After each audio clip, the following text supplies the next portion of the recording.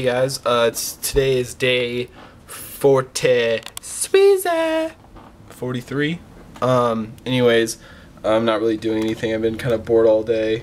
Um, I did, however, get awesome uh, games for my DS, so that's cool. Play those later.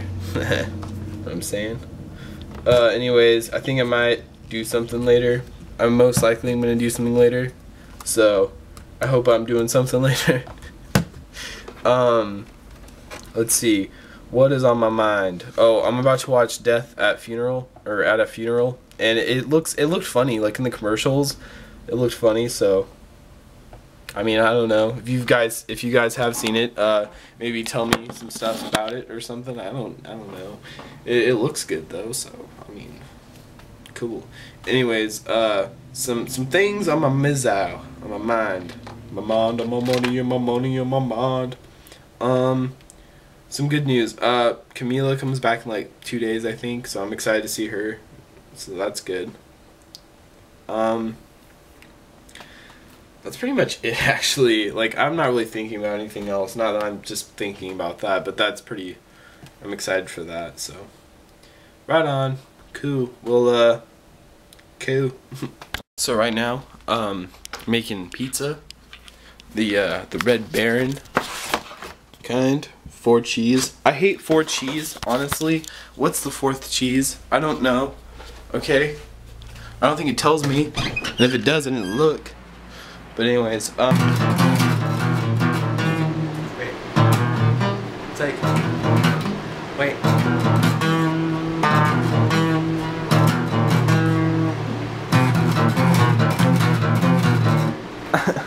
Satan. yeah, so, uh.